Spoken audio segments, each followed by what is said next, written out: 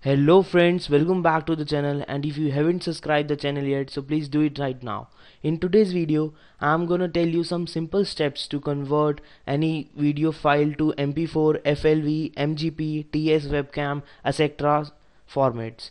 So in to convert these the to convert the video we don't need any software heavy software. We just using a vlc video player. So let's get started. So as you can see here is one video uh, and you can see in property properties that it's a dot wm file. Now we have to just open VLC player. And if you guys don't have VLC player then I will give a uh, link in description section. So now what we have to do is we have to go in media now convert and save. Now we have to click and add to add my file. Now here is my file and open it. Now we have to click on say convert and save. Now now here are the options various option and formats that you want to convert your video file. And so I'm just choosing an mp4 now here you have to give the location where you have want to save your file.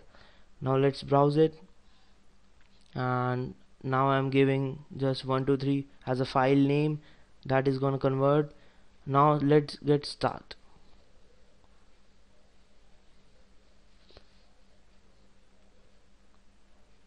As you can see it just converting the file to mp4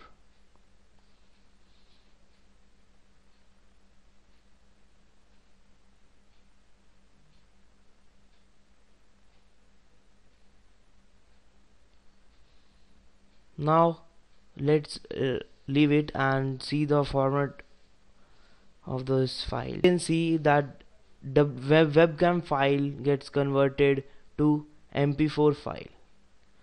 So thanks for watching the video and do like the video and share the video the videos with your friends to help them. And don't forget to subscribe the channel for more videos like this